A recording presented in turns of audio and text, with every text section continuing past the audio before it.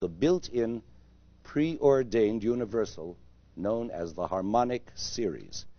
And to those of you who know all about the harmonic series, I beg your indulgence for a few minutes so that I can sketch it out for those who don't.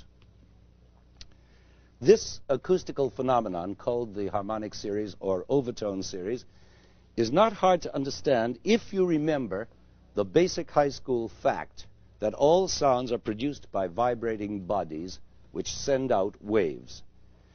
Now, if such a vibrating body is irregularly constituted, like this floor or this piano, it will emit waves which are irregular, and our ears will perceive them as noise. Ow. But if the source of vibration is of a consistent structure, like any one of the strings in this piano, it will emit regular waves, and we hear them as a musical tone. Of course, the source doesn't have to be a string. It can be a column of air, as in a clarinet, or a column of steel, as in a tubular bell, or a stretched animal hide, as in a kettle drum. But whatever it is, it produces what's called energy in vibratory motion. That's the official language. By being beaten, blown, plucked, struck, or frictionized with a bow. Now let's settle for a piano string. Let's say this one, which is of a particular length, tension, thickness, and density, and when struck by its hammer, produces sound waves at a frequency of 132 vibrations per second and is known to the world as the note C. Now comes the interesting part. If I sit at the piano and play that low C, you may think you're hearing only that one tone, a dark, rich bass note. But you're not. You are simultaneously hearing a whole series of higher tones that are sounding at the same time. And these are arranged in an order preordained by nature and ruled by universal physical laws. If this is news to you, I hope it's good news. All these upper notes, of which you may be unaware, result from a phenomenon of nature whereby any sound producing source, or I should say pitch producing source, such as this piano string, vibrates not only as the whole string in all its whatever inch glory, sounding that low C, but also in fractional segments of that string, each vibrating separately. It's as though the string were infinitely divisible into two halves, into three thirds, four quarters, and so on. And the smaller those segments are, the faster they vibrate, producing higher and higher frequencies, and therefore higher and higher tones, overtones, or harmonics, as they're sometimes called. Now, these overtones or harmonics are all sounding together with the fundamental sound of the full string. This is the basic principle by which the entire harmonic series is generated, starting on any fundamental tone. Now, if you already knew all that from high school physics, you will also know that these overtones are naturally less apparent to the ear than the fundamental, which is in this case low C. And in fact, they sound more and more faintly as they go higher. Now, any note I strike will contain its own series of overtones.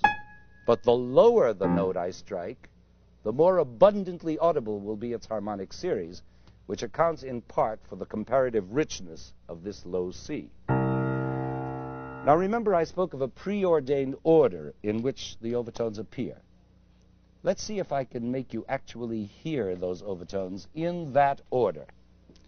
The series, according to the laws of physics, has to be exactly an octave higher than the fundamental C we've been hearing. In other words, it's going to be this C, an octave higher. Now, if I silently press down the key of this higher C and hold it so that the string is free to vibrate, and then abruptly strike the fundamental C, an octave lower, what do you hear? You are clearly hearing the first overtone vibrating sympathetically an octave above its fundamental. I hope you heard it, did you? Listen again. Clear as a bell.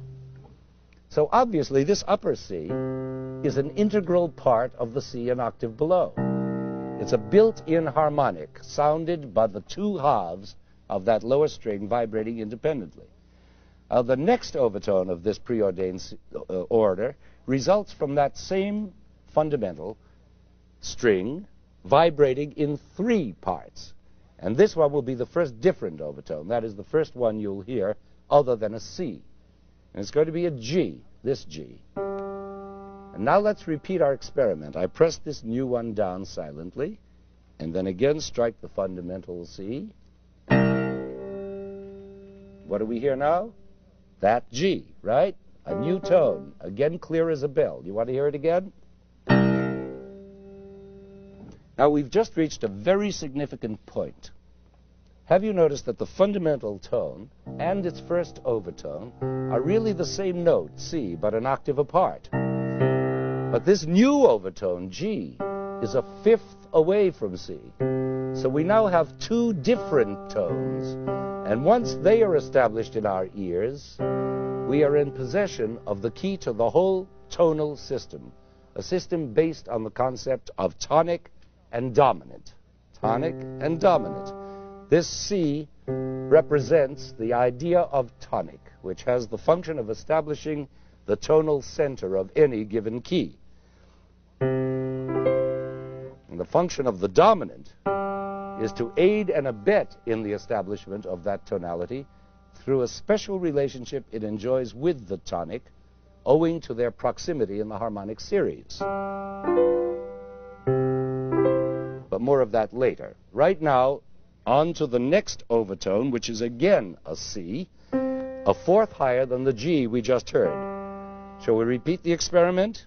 I press it down silently. There it is. You hear it? Do it again.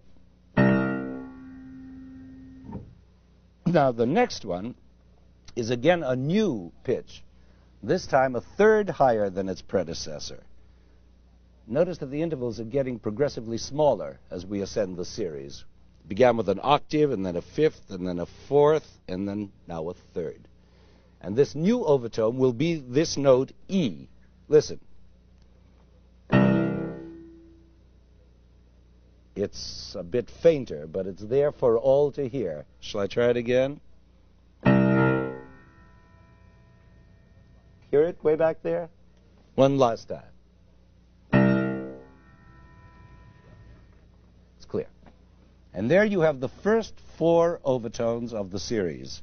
The fundamental plus one, two, three, four. Three of which are different pitches. Those three. Now it must be obvious to you that these three notes, rearranged in scalar order, constitute what is known as the major triad, which is the very nucleus, the cornerstone of most of the music we hear from day to day whether it's a symphony or a hymn or a blues.